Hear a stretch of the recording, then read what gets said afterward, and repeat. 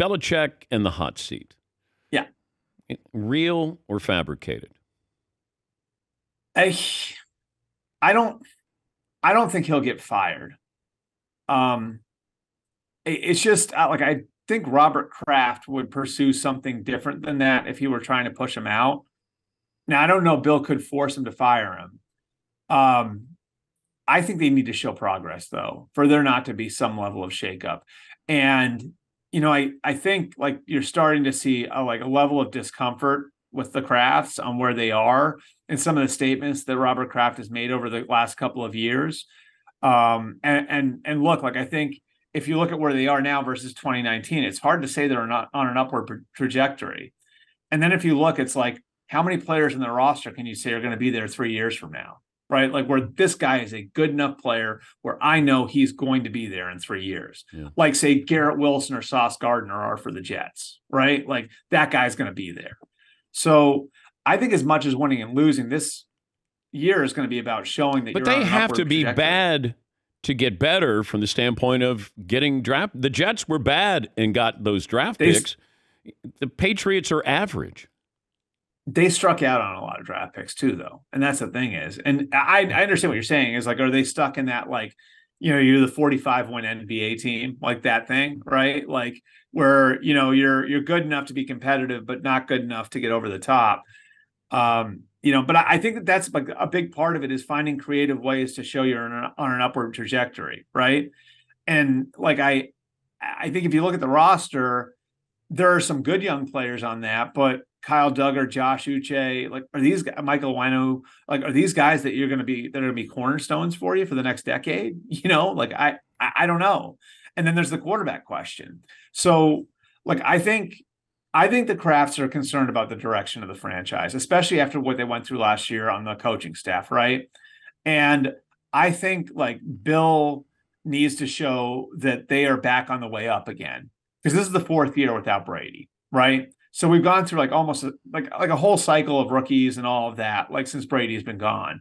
So they need to show like like Bill needs to show we're on an upward trajectory to prevent there being some level of change for the second straight year in the organization. And I think where you could see this, right? Like the way I see it, like barring like a bottoming out where they're 4 and 13 or something, what if Robert Kraft wants to hire a GM? Mm. What if Robert Kraft wants changes on the coaching staff? He did this year, mm. or if he mm. wants to do that again. Is that the type of thing where it makes Belichick throw his hands up and say, "The hell with this, I'm I'm out." You know, like so. But they're not helping Mac Jones.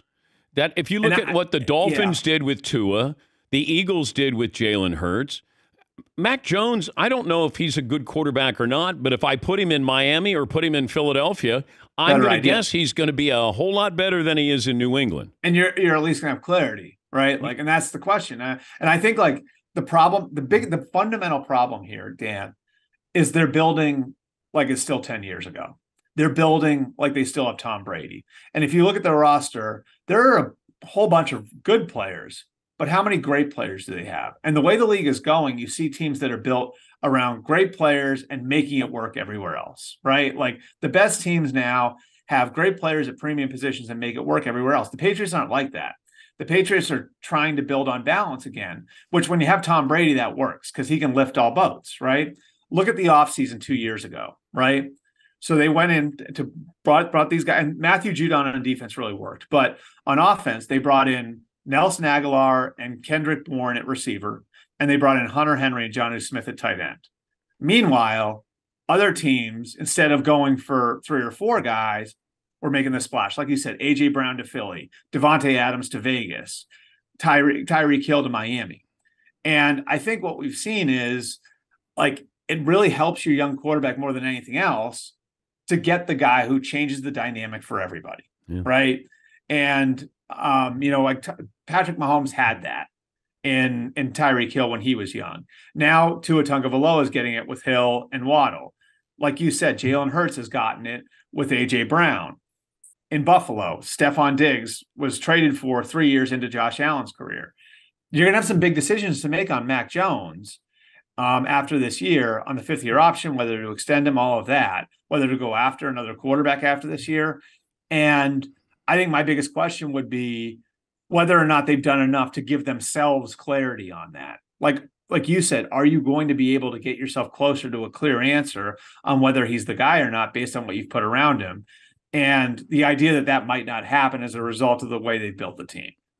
Yeah, I think what we're finding out is players will go to New England if they can win a Super Bowl and you have Tom Brady.